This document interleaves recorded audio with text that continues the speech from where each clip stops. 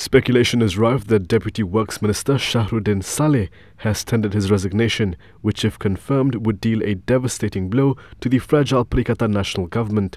Malaysiakini is attempting to contact the Sri Gading MP for confirmation.